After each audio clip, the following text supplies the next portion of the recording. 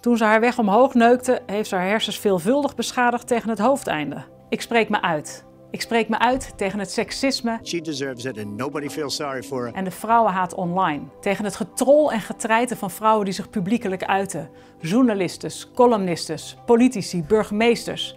Vrouwen van links en van rechts. Ik spreek me uit tegen de stroom van berichten. Gericht om ons te kleineren, te vernederen. Om ons een toontje lager te laten zingen. Zolang vrouwen lief zijn, dan mogen ze meedoen. En anders twittert er wel iemand dat je gewoon je middelvinger in haar rectum moet rossen. Dat er een piemel in moet. Kuthoer.